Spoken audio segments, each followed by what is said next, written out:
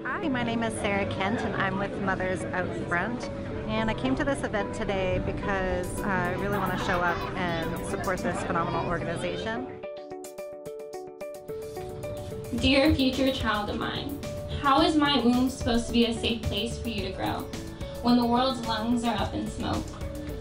Is it selfish of me to fulfill a motherhood dream for you to live a child's nightmare?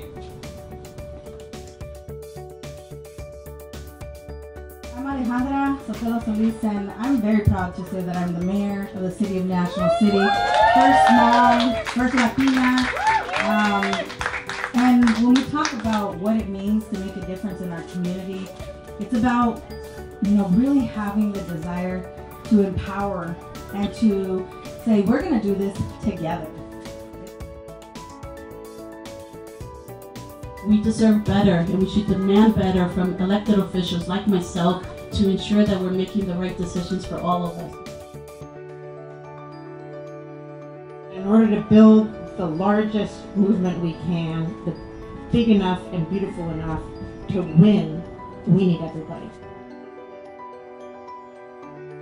Think it's so important that we uh, understand the magnitude of the climate crisis, that we know that we have a short time to be able to really address it. And I'm so proud and impressed at all the moms that are here who are coming together and really putting this topic at the forefront and making sure that not only are we doing the big things we need to, but we're looking at the communities that are most impacted by the effects of climate change right now and making sure that we address that inequity also.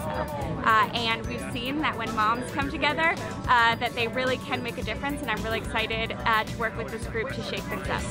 So I look forward to making connections between this organization and other Indigenous women that are from this area um, as we move forward in our efforts to protect motherhood.